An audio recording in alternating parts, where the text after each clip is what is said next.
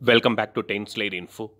Due to the stubborn standpoint of 70% indigenous content, the most awaited Russian helicopter deal was kept on hold for a long time, and it looks like the talks are going to resume now. Just to revisit the deal, India and Russia signed a deal in 2015 for 200 Kamov Ka-226T helicopters, which will be manufactured by the Indo Russian Helicopters Limited.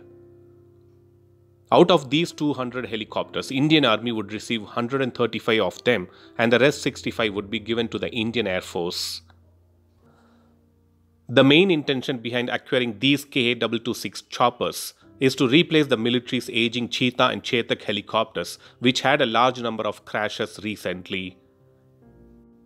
Even though Hindustan Aeronautics Limited has shown good progress with their advanced light helicopters, still the Russian Kamov Ka-226T choppers would be a better choice for replacing the Cheetah and Chetak. One of the main reasons which I would like to mention here is about having twin engines in the Russian helicopters, whereas the Hindustan Aeronautics Limited manufactured advanced light helicopter as only a single engine. While operating in high altitude regions, it's always better to operate a helicopter which has a twin engine since sudden power loss or engine failure can contribute to crashes. So having twin engine like the Ka-226T would be one more vital safety feature.